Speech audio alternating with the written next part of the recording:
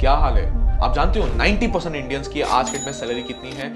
Less than twenty five thousand एक data के अनुसार एक फ्रेशर की सैलरी एस्टिमेटेड है उन्नीस हज़ार रुपए पर मंथ इंजीनियर्स की बात करें, हमारे भारत देश में आज के डेट में तकरीबन वो सात से आठ लाख रुपए खर्च करते हैं अपने पढ़ाई के लिए। और वहीं पे जब सैलरी की बात आती है, पच्चीस से तीस हज़ार रुपए की नौकरी लगती है। लेकिन इसके अलावा भी आज के डेट में एटी वन परसेंट इंजीनियर्स हमारे भारत देश में अनएम्प्लॉयबल है। डिग्री करने के बाद भी घर पे बैठे हैं। आप लोग सोचते रहोगे आईआईटी में जाके पढ़ाई करेंगे तो उनका तो एकदम मज़ेदार ज़िंदगी चलता रहेगा। आईआईटी बॉम्बे ने अभी रिपोर्ट किया 36 परसेंट उनके स्टूडेंट्स को आज के डेट में प्लेसमेंट अब तक। दिला नहीं पाए हैं। और ये आईआईटी बॉम्बे यानी कि प्रेस्टिजियस इंस्टीट्यूट है हमारे भारत देश की। आज के इस वीडियो में हम देखेंगे ऐसा क्या हो रहा है भारत देश में, जहाँ पे माँ बाप खून पसीने की कमाई से बच्चे को पढ़ा रहे हैं। एक उम्मीद में कि बच्चा जब बड़ा हो जाएगा, हमारे घर का ध्यान रखेगा। आप जब पढ़ाई करते हो, आप सोचते हो कि यार मैं जब पढ़ाई करके कंप्लीट कर लूँगा, अपने घर को एक अच्छी ज़िंदगी दूँगा, एक अच्छी गाड़ी ले पाऊँगा और अच्छी घर भी ले पाऊँगा। लेकिन आज वो सपना, एक सपना ही बन के रह गया क्योंकि Indians are paid less But here's something that is unlikely to travel well with India's IT employees. बच्चे फ्रस्ट्रेट हो गए सर कई बार आत्महत्या करते हैं Assume that your food, food expenditure per month is 100 rupees. They had to stop the interviews and they had to call people later over several days and then have the recruitment. Sir अब वक्त आ गया कि हमारी तनख्वाह double कर दीजिए sir पगार बढ़ाओ तुम इतना पैसा में घर नहीं चलता सला ईमान कैसे चलेगा आप सीनियर लेवल को, यानी कि 15 साल प्लस एक्सपीरियंस तब जाके आपकी पैकेज होगी 12 से 20 लाख रुपए पर एनम की बात कर रहा हूँ। और वहीं अगर आप फ्रेशर की तरह चालू कर रहे हो तो आपका कोई माए बाप नहीं है। तीन से छह लाख पर एनम भी अगर मिल जाए तो धन्यवाद करना, भगवान को और जॉब ले लेना। बिज़नेस और मैनेजमेंट की अगर प्रोफ़ाइल पे आप जा रहे हो तो सीनियर लेवल पर अगर आप जाओगे यानी कि अगर 15 साल का एक्सपीरियंस रखते हो, तब जाके आपको 12 से 16 लाख का पैकेज मिलेगा। मिड लेवल पे वही 6 से 8 लाख का आंकड़ा चल रहा है और फ्रेशर का वही हाल है जैसे टेक इंडस्ट्री में हाल है। और ये वही प्रोफेशन है टेक और बिज़नेस मैनेजमेंट जहाँ पे अगर आप अच्छी कॉलेज से पढ़ाई कर रहे हो एमबीए कर रहे हो या इंजीनियरिंग कर रहे हो कॉस्ट इसका दो तीन चार गुना है। लोग एजुकेशन लोन लेके आ जाते हैं बट फिर भी उतना सैलरी नहीं मिलता है। अच्छा यहाँ पे अब हमारे मन में सबके सवाल आता रहेगा कि हम सैलरी हाइक ले लेंगे। अगर हम आते तो ईयर ऑन ईयर अगर ग्रोथ मिलेगा तो उससे भी हमारा काम बन जाएगा। लेकिन वहीं पे 2024 में एक डेटा आती है एवरेज सैलरी हाइक भारत देश में मिला क्या जा रहा है? अगर आप फ्रेशर हो, यानी कि जूनियर लेवल से स्टार्ट किया ईयर ऑन ईयर आपके सैलरी में हाइक मिलेगा, यानी कि इन्फ्लेशन से सिर्फ़ दो तीन परसेंट ज़्यादा, उससे तो कुछ नहीं होना है। अगर आप मिड लेवल पे हो ना तो भी नौ से दस परसेंट अगर आप सीनियर लेवल पे हो, क्योंकि आपका पैकेजेस ज़्यादा रहता है तो आपको मतलब ज़्यादा नहीं मिलेगा। आपको मिलेगा छह से सात परसेंट का सैलरी हाइक यही एवरेज बांटा जा रहा है one of the top companies में। बट यहाँ पे ना एक और चीज़ मैं कहना चाहूँगा, बहुत सारी कंपनीज़ ने एआई और कोविड का भर भर के फ़ायदा उठाया है।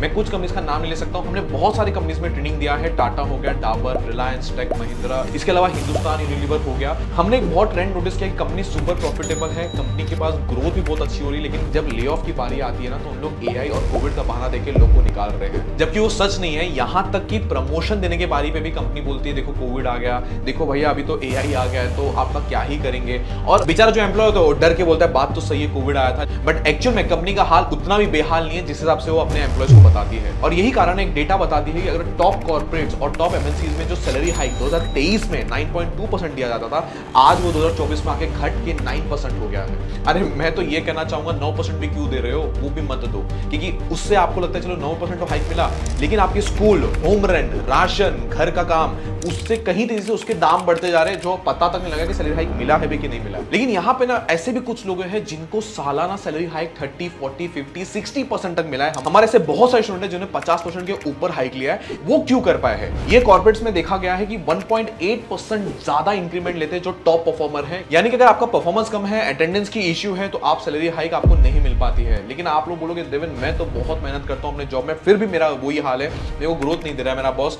और जब भी ग्रोथ की बारी आती है वही चवन्नी सात दे देता है जिससे मुझे कुछ समझ नहीं आ रहा है। वहीं पर दूसरा पड़ाव अब हमारा आ रहा है कि एग्जैक्टली हम करें क्या इस ट्रैप से बाहर निकलने के लिए। लेकिन उसके पहले ये जान लेते हैं किन कारण की वजह से हमारी सैलरी बढ़ती नहीं है।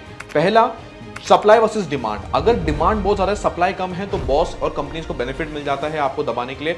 दूसरा 85 परसेंट इंडियन इंजीनियर्स आज भी अनएम्प्लॉयबल है यानी कि वो पढ़ाई पढ़ रहे हैं जिसका वास्तविकता से कुछ लेना देना नहीं है। बस वहाँ पे रट्टा मार रहे हैं और इंडस्ट्री में कोई हेल्प नहीं है।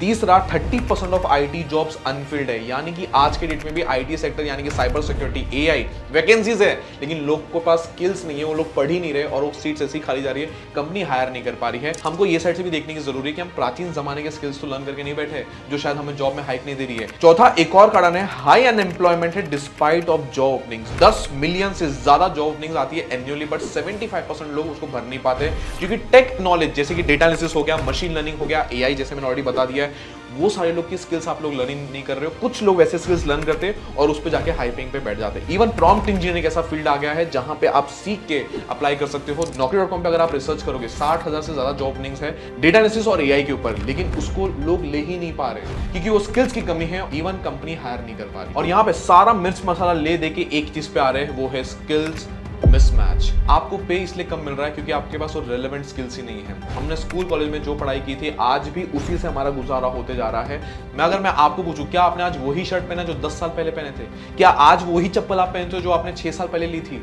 मोस्ट प्रोबेबली नहीं, क्योंकि आपने अपने टाइमली अपडेट किया, आपकी बॉडी जैसे जैसे बढ़ती गई, घटती गई, उस हिसाब से आपने चीज़ें लिए। तो वैसे ही मार्केट में जब चीज़ें बढ़ी और घटी, उस हिसाब से अपने स्किल्स को क्यों नहीं सीखा आपने? और यही कारण है कि आज आप एक ऐसे ट्रैप में फंस गए हो, जहाँ पे बंगला गाड़ी, दूर की बात, एक बेसिक नेसेसिटी भी आप अपने घर की पूरी नहीं कर पा रहे हो, क्योंकि आपका सैलरी बहुत कम है।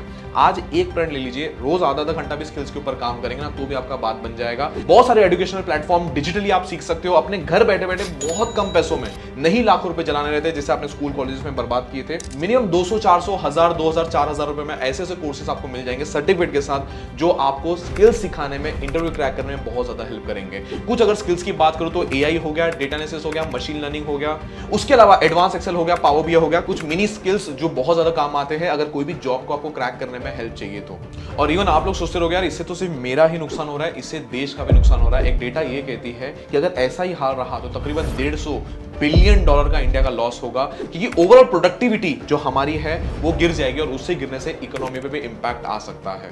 आज ये वीडियो ना सिर्फ़ देख के बंद मत करना दो तीन बार ज़रूर देखना, जो आपको काम की चीज़ लगे ना, उसको देख के नोट ज़रूर बना लो और कुछ दोस्तों और फैमिली मेंबर्स को ज़रूर शेयर करो, जहाँ पे आप उनको निकालना चाहते हो इस ट्रैप से कि इतना मेहनत करने के बाद भाई पैसा बड़ा कम मिल रहा है और सैलरी हाइक भी इतनी कम है जो सस्टेन भी नहीं कर पा रही है तो बारी आ गई है उनको अपने स्किल्स पे काम करने के लिए। कमेंट करके ज़रूर बताना कि आप कौन सा स्किल्स लर्न करना चाह रहे हो पॉसिबल रहा तो मैं उस पर ज़रूर वीडियो लेके आऊँगा। आप चाह रहे हो कोई और भी वीडियो बने, आपके जॉब के रिलेटेड फ्रीलांसिंग रिलेटेड वीडियो बनाना चाह सेकंड सोर्स ऑफ़ इनकम कमाना चाह रहे अगर उस पर आप चाहते हो वीडियो मेरे से, उसको भी कमेंट बॉक्स में ज़रूर डाल देना। अगर आप अपने फ़ील्ड में, अपने जॉब में नंबर वन बनना चाह रहे हो तो इस चैनल को सब्सक्राइब ज़रूर कर लेना, क्योंकि ऐसे ही पावरफुल कॉन्टेंट मैं आपके लाता रहूँगा।